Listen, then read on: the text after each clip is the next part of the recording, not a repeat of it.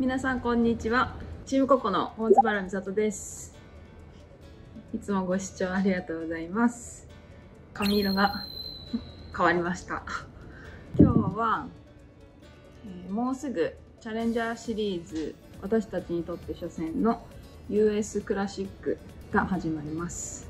出発まであと2日となっておりまして出発2日前パッキング前に私がやることスケート靴をきれいにする。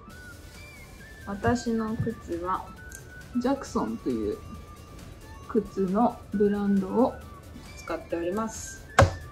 4年前からずっとリクエストして去年やっとこさ開発されそして私の手の元に届き一緒にオリンピックに行ったビーガンスケートでございます。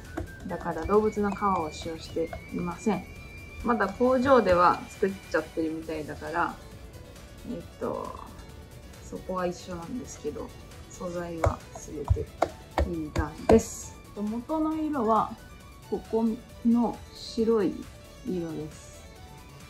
でこのビーガンの素材はまだいろんな色が出てるわけじゃなくて白しか出てないんです。去年はおげいこさんの役をフリーでやっていたのでこうちょっと旅っぽい感じに見せたくて白にしてたしここを黒でちょっと下駄みたいなにしていました。でリズムダンスもディスコだったからちょっと白い靴みたいな感じにしてたしてました。で今年はリズムダンスがラテン。でフリーが、えっと、フィフスエレメントという映画から来てるんですけどラテンの方の足元は、えっと、ヌードの靴とかハイヒールが多いのとフリーは裸足 の女性がメインキャラクターなのでヌードカラーに塗っていきたいと思います。レッツゴーじゃあここから。なんかいろんな方法を試して切ってでいろんな人と話してきたけど今はここに落ち着いているというやり方です。とドリームアイスの時に紐が切れてで同じブランドの紐がなくてすごいふにょふにょなやつ使ってたのでこれをまず取ります。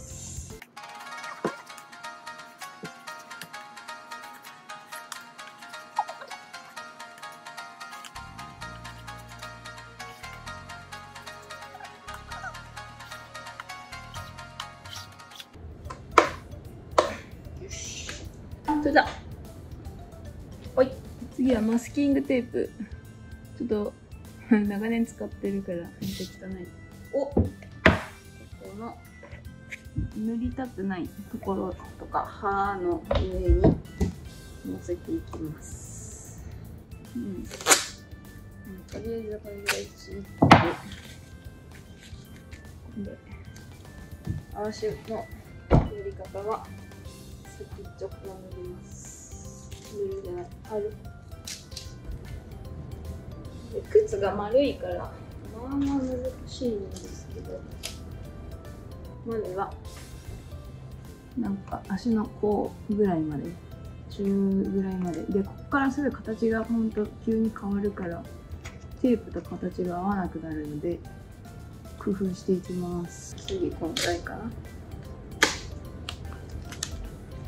白い靴をキープしてた時はビニールテープをビチーって。内側に貼ってました。でヌードはビニールテープの方が本当は楽なんだけどないからスプレーを使います。ここは難しいよ。もう悩むところでここさっきのつなぎ目からちょっとちょっとかぶるぐらいでジジジジって言ってあとちょっと。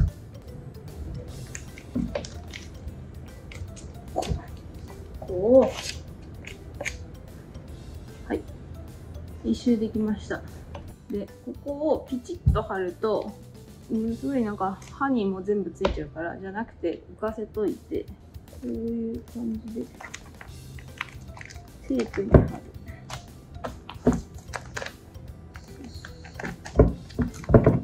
スプレーが入らないように隙間を埋めつつ。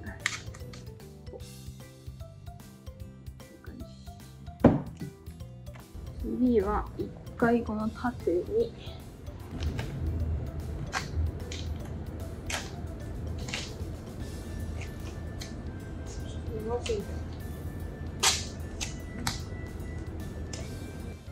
でう入りました。あんまりベタっと。こう貼ると歯に粘着質がつきすぎるのでふんわり次ここを埋める。よし。これで歯と、えー、靴底の部分がカバーできました。これを。反対側にもやりますはい。両方できました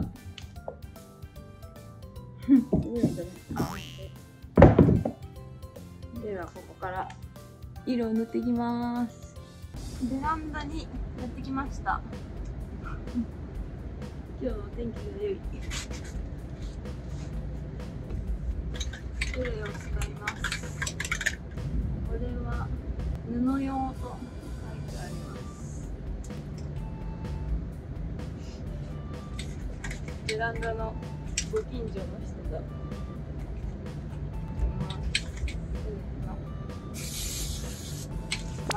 なん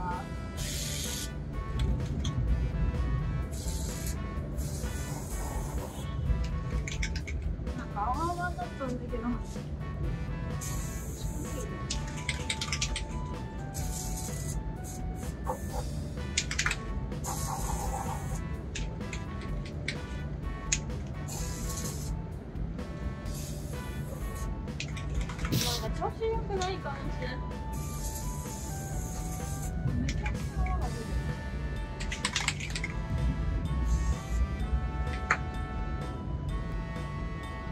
はすごく良い。なんかやたら泡が出た。すぎたね。で、大体こうやって流します。一旦放置。めっちゃ動画撮ってたつもりだったのに撮れてなかったおテント様のおかげもあって丸一日経ったらしっかり乾いておりました最初結構泡々で心配だったけど割と綺麗に濡れたのではないでしょうか。で今回はここ綺麗にやってたけど前回時間なくて適当にやっててはみ出てたところがあったのでそれを今マッキーで塗りました。で削れて色が変わってたとことかも塗ったしこのシールが剥がれたところも塗ったりとかして結構クリーンな見た目に近づいてきたかなと思います。そしたらえっ、と紐も乾かしてた横で塗っていたんですけれどもそれを通していきたいと思いますこの裏側に点を書いておきます。私の場合は一番最初がどっちだっけえ、最近どっちで撮ったの？うん、一番最初だけ上から。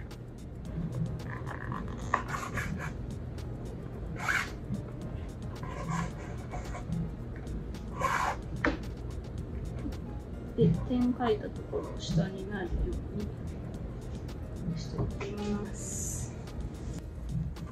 なんか結び方もいろんなやり方があってみんないろいろ試して自分の好みに身につけてください白くムラが出てるところがあるのでそこに関しては後でファンデーションを塗っていきます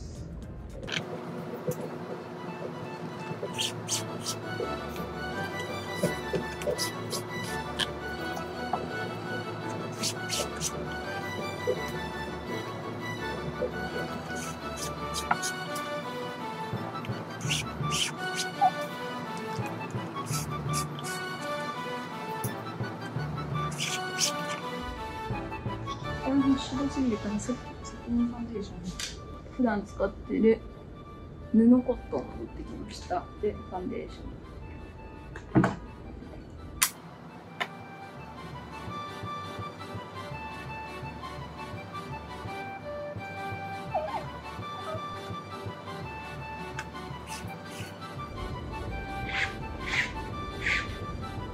えっと人によると思うんですけど私の場合はこれとこれは使っておりません。昨日は中秋の名月やってでお月様がすごいすごいキラキラ強く光ってました。綺麗だった。なんかお願い事したら叶うよみたいな、ね、ことを教えてもらってお願い事しようとしたらお願い事多すぎて最初やばかった選べれんかってびっくりした。自分で。だけど一つだけ選んでお願いしました。カメラが趣味なんですけどお月様も綺麗に撮りたいなと思って外出て撮ろうとしてみたけどやっぱちょっと自分の持ってる分と本当より若干若干困りだったから夜。難しかった。勉強したいと思います。また真ん中を探します。ここにつけとこういうことやるなくてで自分の私服の靴私服？普通のなんかブーツとかも好きな色塗ったりとか自分で修復するようになって長い時間とか愛着持って物を使えるようになってます。小学校の時とか全然知らなくてスケート靴汚いままで出てたんですけどそれはプロじゃないということを当時の先生に教えてもらいただいていろんなところを見られるスポーツなんだなっていうのを実感した、まあ、でも確かになんかスケート靴汚いまんま大会に出るのは仕上がってないなと。思うようになりましたスニーカーのカスタムとかエアフォースとかやってる人を見てなんかおしゃれなグラフィティのスケート靴も欲しいなって思うけどまあそれじゃ大会に出られるかまだやってないです。古い靴でやるのがめっちゃあり。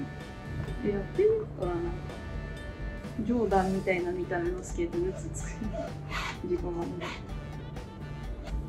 US クラシック終わったら3日オフがあるから4日か4日オフがある。から自分の古いスケート靴。大改造。スペシャルやってみようか。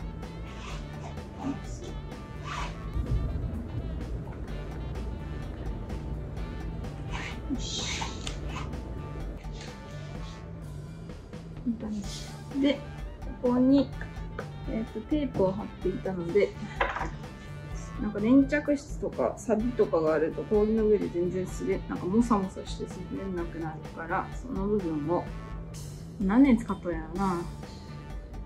シングルの時から使っているから10年以上のお友達になります。